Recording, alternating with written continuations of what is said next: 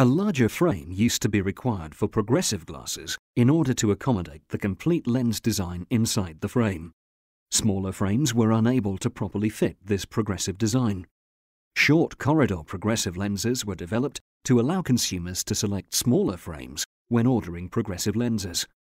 Short corridor and long corridor refer to the distance between the far view and near view focal points.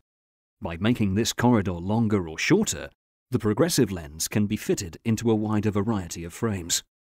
It's good to keep in mind that short corridor lenses reduce the area available for your intermediate correction in the lens. But if fashion and style are important to you, it's a small sacrifice to make.